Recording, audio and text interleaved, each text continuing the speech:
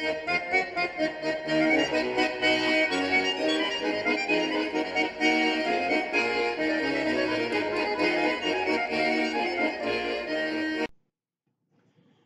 news coming from multiple outlets this morning as Kamala Harris has officially announced her running mate in the upcoming 2024 U.S. presidential election.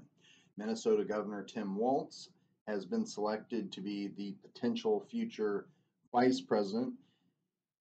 Uh, that has been confirmed by multiple outlets NBC, MSNBC, Reuters, Al Jazeera, etc.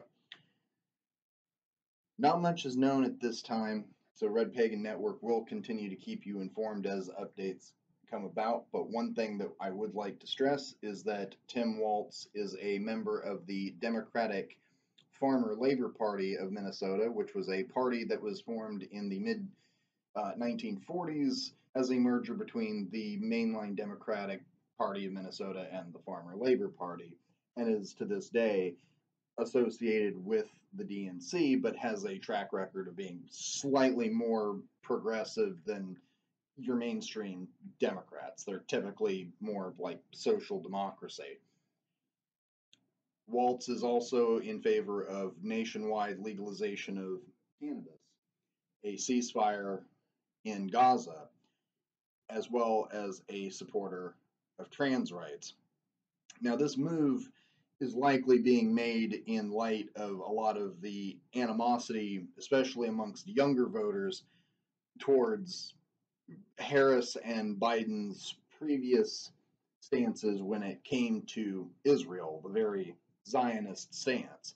And while Walz by no means is to be should be considered to be free and clear of this potential thing, it is definitely a huge move on Harris's part to pick somebody that is slightly more progressive than even she is.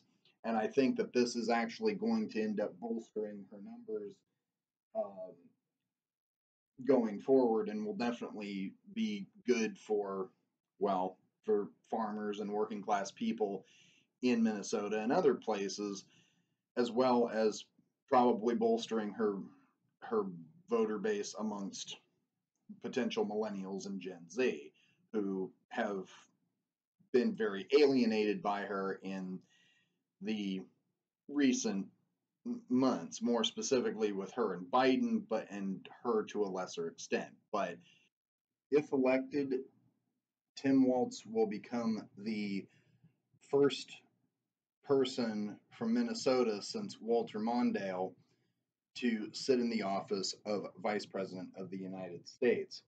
There has only been a few people that have that have been in that position, and that was Mondale and Hubert H. Humphrey. So, big news that is definitely coming out this morning, and I will try to keep you updated as best I can with future election updates. Until such time, I'm Red Pagan Nicole, and this has been Red Pagan Corner. Thank you for watching. If you like news and politics from a leftist perspective, true crime, or informational videos on leftist philosophy and pagan belief practices, and would like to support the channel, please head over to my Patreon page and set up a monthly donation. Even a few bucks really helps me out.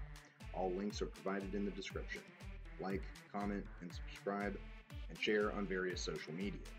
Hit the notification bell so that you never miss a video. I put out content regularly, so you will always get quite a bang for your buck.